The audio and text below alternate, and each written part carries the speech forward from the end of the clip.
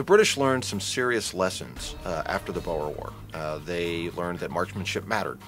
Uh, they learned that long range fire, when it's shot at you and it's precise, has consequences.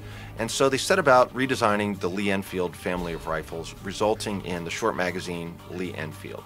And this was a 10 round detachable box magazine, 303 rifle, uh, on close, uh, very good rifle. But the British knew that another war would be coming, so they set about trying to improve the ballistics of their service rifle cartridge and also to go with an entirely new rifle. The uh, uh, British military wanted to go to a 276 rimless round to replace their rimmed 303. They developed a uh, rifle to chamber this round, but uh, as the conflict uh, drew closer, uh, it became obvious that you're not going to change your mili- military round right on the eve of war. By 1913, they had a 276 cartridge and the Pattern 13 rifle, and this was going to be the next British service rifle. But of course, in August of 1914, the Germans uh, invaded uh, Belgium, France, and Britain was in a major war. Now, Britain knew a war was coming, and they decided not to change cartridges, even though the 276 was more ballistically efficient than the 303 British. The 303 British cartridge really was developed as a black powder cartridge for the Lee Metford. And when it comes to feeding in machine guns, when it comes to feeding in rifles, you know, rimmed cartridges probably aren't the best way to go. But it was the horse that Britain was riding in 1914.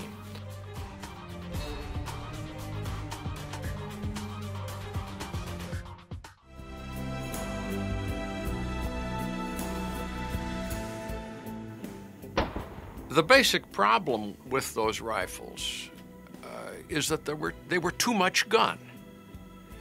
They were too long, they were too heavy, they were too bulky. Uh, it would have been a great gun if it had had a 24 inch barrel and a pound less weight, which it really didn't need for 303. As England became consumed in World War I, it was obviously that they weren't going to be able to produce enough rifles to meet wartime needs, so they contacted uh, American manufacturers to produce the P 14 rifle. They contacted uh, Winchester and Remington. Uh, Remington uh, made these both at their uh, Ilion plant in New York and at a new plant set up primarily for this in Eddystone, Pennsylvania. So Winchester, uh, Remington Ilion, and the Eddystone uh, branch of Remington were all producing these for Great Britain. By the time Remington and Winchester and Remington's plant at Eddystone were really ramped up for production, the British had already upped Lee Enfield production to the point that they didn't really need them. The Pattern 14, uh, there was a, a sniper version of that, which used, there were two, two different versions of it. One used an, an offset uh, uh, scope, and the other one was overbore. They were very accurate, and those guns, uh, quite a few of them wound up in Ireland. And from there, they were surplused and came to the United States. Now, the American version of the Pattern 1914, the U.S. Model 1917 rifle, it's basically the same rifle, uh, but converted to 30-06. 30-06, of course, is a rimless cartridge, and uh, the U.S. Army Ordnance Department was looking for rifles when America entered the war in 1917, and they found three complete factories with tooling and workforces ready to make rifles for what would become the American Expeditionary Force.